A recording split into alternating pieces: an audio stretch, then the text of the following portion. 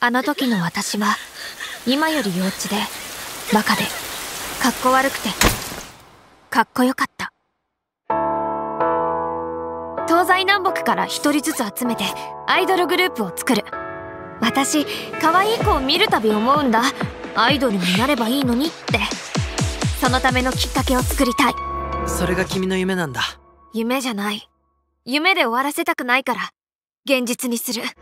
僕が一番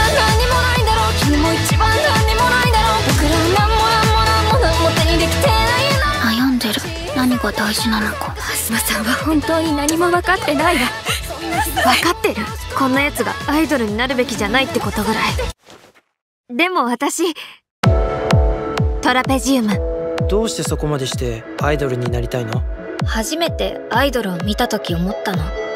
人間って光るんだって